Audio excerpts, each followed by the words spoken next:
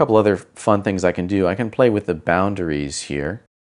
If I increase or decrease the boundaries here, we can see we're changing the sphere of influence for the, for the squash effect. So I'm just going to increase them a little bit. Actually, I'm going to take those boundaries up to, let's back out a little bit here. I don't know, about 1.5, 1.6, something like that. That's just producing a more pleasing rounded squash effect that I just prefer. All right, so now we've got a squash effect happening. Okay, so now in our perspective view, let's examine this. I'm pressing 6 and I'm dollying back a little bit so we can kind of see a little bit better. And let's scrub through here. Um, all right, well, it's doing something, but it's not really doing what I want. In fact, the ball is sort of entering and exiting the influence of the squash handle. What I want in this case is I want the handle to be attached to the ball so that when the ball bounces back, the squash handle is going to be attached to it. So we're to, what we're going to do here is we're going to link or parent these objects together. We want the handle to follow the ball. So that means the handle is going to be the child and the ball is going to be the parent. So in any viewport, I'll just go to a wireframe view and I'm going to select the handle. And let's just use the select tool to make it easier to see. I'm going to select the handle. I'm holding down the shift key and clicking the ball and I'm about ready to create a parent-child relationship. And this is what you need to see. The handle must be highlighted in white and the ball highlighted in green. That means the ball is the most recently selected object or the so-called lead object. So once again, I need to select the handle, which is going to be the child, and I'm going to shift select the ball, which is going to be the parent, and then I press the P key on the keyboard, P for parent. Now if I scrub in my timeline, there you go. The handle is attached or parented to the ball. And if we move our time index to like frame 32, go back to the squash inputs and adjust the squash factor, you'll see here now that the squash is obeying the rotation of the ball. Very good. Okay, so I'm going to go back to frame 24, which is the point of impact. And I'm going to set the squash factor. And in my case, I'll set it to you know, fairly extreme, might be uh, negative 0.5 Maybe I'll just go to the squash factor and type it in. So negative 0.5. Now that seems a little bit much. I think that's a bit too exaggerated. So let's do negative 0.4. And notice once again that the ball is not touching the ground now. So we are going to have to adjust the vertical position at frame 24. So I'll go back to the ball, open up the graph editor, which I've had minimized, Remember, it's under Window Animation Editor's Graph Editor. And it's the Translate Y that I'm concerned with, so I'll highlight that. Press the F key to frame the curve. And I want to move this keyframe, change its value at frame 24.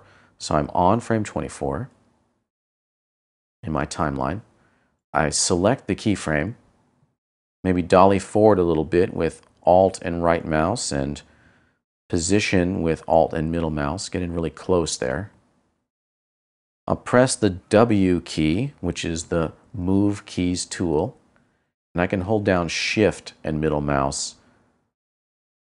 There we go. So I'm able to exactly dial in the position of the ball by moving the keyframe. Again, press the W key to get the Move Keys tool. Select with left mouse hold down Shift and middle mouse click and drag to move the keyframe up and down. So now we've got the position corrected for that squash.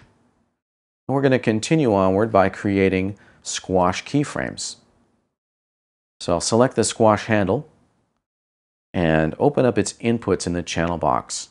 And here I am on frame 24 and we're going to keyframe the squash factor. So this time I'm going to choose to select the name of the attribute, and instead of hitting S, which would keyframe all of these channels, I'm just going to go up to the channel menu and choose key selected. So I've got a squash factor of negative 0.4 at frame 24. And if I deselect it, I will not see the keyframes. So I want to make sure I have the handle selected. And I also need to have the input node selected too in order to see the keyframes. So there you go. So I've got the input node selected and now I can see a keyframe at frame 24. So I'm going to go forward a few frames, one, two, three, four frames forward. And I'm going to change the squash factor. So we'll make it a positive value, but not as extreme. So instead of positive 0.4, let's make it positive 0.3. So I'll type in a point and a 3 and enter. Then once again, we'll set a keyframe. Select the name of the attribute, channels, key selected. So we're just keying only that attribute. And scrub in the timeline, and you see I've got squash and stretch. So I'll go forward a few more frames, one, two, three, four frames. The factor is going to go back into negative value, but again, not as extreme. We want it to level out. So we'll set this to negative 0.2, press enter, select the factor, channels, key selected. Scrub in the timeline once again. So squashing down, stretching out, and then squashing down again. And we'll just continue that process. So we'll go forward a few more frames, one, two, three, four. Maybe position better in our front view set the factor to be a positive value now. We're going back to positive, except again, not as extreme. So we'll set the factor to positive 0.1 and press enter. Select the factor, channels, key selected. We've got a new keyframe now. So we're seeing it oscillate. Okay, so we're just going to make one or two more keys.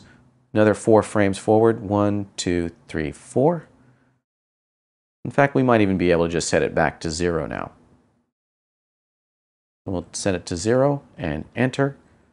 Select the name of the attribute, channels, key selected. Scrub across and see that's what it looks like in the front view. Let's go to our camera view, scrub across, and that's not bad. So after the bounce, it's squashing and stretching a couple of times. We can rewind back to frame one and play the entire animation. And you'll immediately see that we've got a problem, which is that the ball is squashed to its full amount on frame one. Okay, and that's because our first keyframe on the squash factor is on frame 24 so we do need to add another keyframe. We need to have a keyframe value of 0 at frame 1. So I'll go back to frame 1, set the factor to 0, enter, select the name, channels, key selected once again. Going back to the camera view and playing back.